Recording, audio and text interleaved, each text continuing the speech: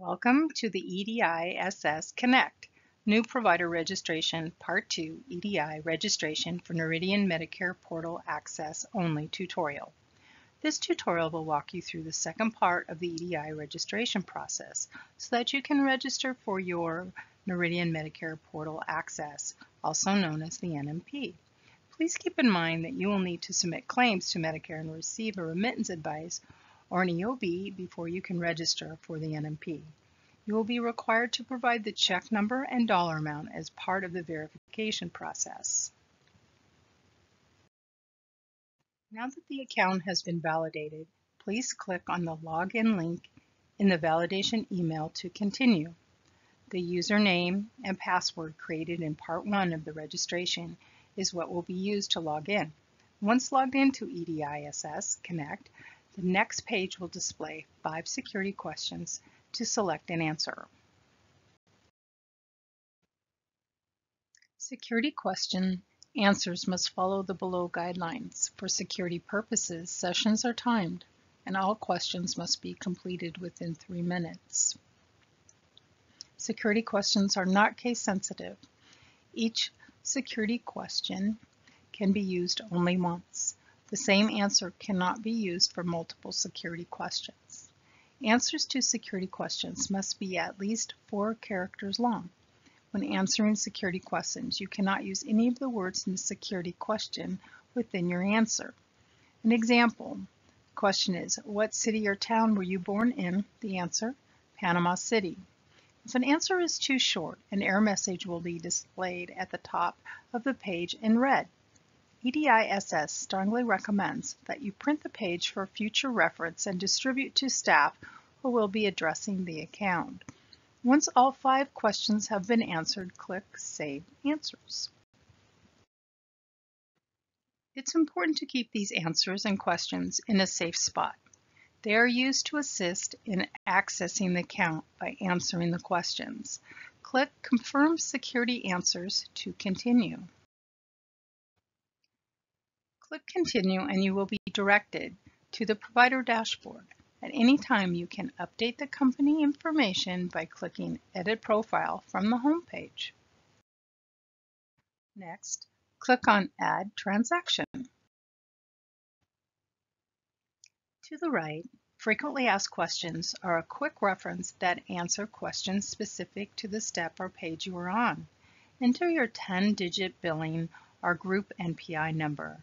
Enter the tax ID, your EIN, or SSN number. Dashes should not be used. If there are additional billing NPIs for the same state and line of business, you can click on the plus sign to add additional NPIs. Once the NPI and tax ID or SSN are completed, you will click Continue. At any time, additional NPIs can be added to the account by again selecting Add Transaction. If multiple NPIs are added to a single account profile, a billing group number will be assigned to that account. This billing group will be utilized by direct submitters, those not using a third-party billing service for transmitting or receiving electronic data via a network service vendor. Network service vendors provide a secure connection for conducting business with EDI. At any time during the add transaction process, you can go back to the previous step by clicking back. However, if you have not yet clicked continue on this page, your information will be lost. The left column will show all the states that EDISS conducts business with. To select your state, highlight the state and click add or drag it over. The states you have selected will show up in the right column. The Remove button can be used to move a state from the right column back to the left if selected in error. Once all states have been selected, click Continue. Check only the options Professional, Institution, and or Dental that apply when selecting what type of transaction you will be submitting. Transactions are the type of work you will be utilizing EDI for such as electronic claim submission or electronic remittance advice. Check all the specific transactions that apply to your NPI. The states will display from the previous step and then you will check all that apply. When all lines of business have been selected, click Continue. The EDI enrollment form will be agreed to electronically. To view the EDI enrollment form, click the EDI enrollment terms and conditions link.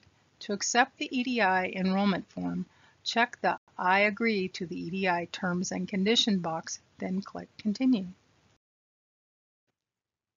Click on the small box under Enroll to add a check mark to the 276 transaction. There are other transactions available for you to register for, but only the 276 transaction is necessary to register in NMP. You will click on the small box next to I will, and or or, click Submit at the bottom of the page to finish adding the transaction.